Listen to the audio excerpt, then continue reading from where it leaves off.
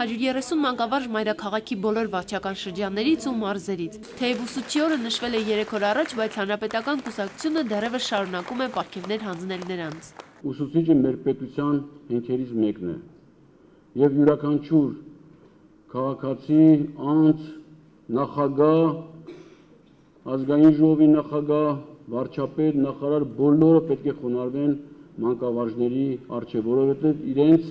աշխատանքի արդյունքում են, իրենց տված գիտելիքի արդյունքում են այսօր իրենք այդ պաշտոնները գրավում։ Պատվոգրերն ու շնորհակալագրերը, որ հանձնվում են մատաղ սերնդի դաստիարակության գործում մեծ ավանդ ունեցող մանկավարժներին շատ են։ Հանրապետական կուսակցության անդամ ուսուցիչներին ապարգևատրում է նաև Պաշտպանության նախարարը։ Պարգևատրել Գարեգին Նժդեհ մեդալով Երևանի թիվ 177 դպրոցի տնորեն Ռաֆայել Սուրենի Մադոյանին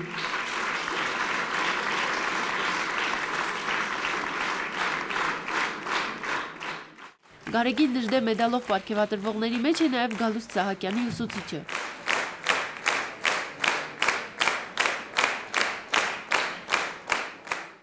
Մանկավարժների շատերն առաջին անգամ չէ, որ իրենց վաստակի համար պարգևներ է ստանում։ Այդուհանդերձ, ինչպես խոստովանում են, ցանկացած պարգև յուրովի պարտավորեցնող է։ Անչափ հպարտ եմ, որ այս սրբազնագույն մարդու ուրեմն մեդալին եմ ես արժանացել։ Յուրաքանչյուր ոգ նման ուշադրության արժանանալուց հետո հուսով եմ գերագույնս է պարտավորում ավելին անել։ Պարքևը պարտավորացնում է, ոգևորություն է տալիս մարզիչներին, մանկավարժներին, բոլորին